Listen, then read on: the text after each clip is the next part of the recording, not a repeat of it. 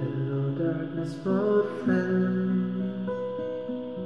I've come to talk with you again. Because a vision is softly creeping never sees what I was sleeping in the vision.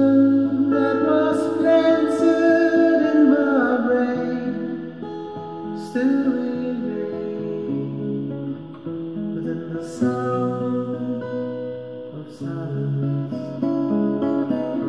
Restless dreams I walk alone.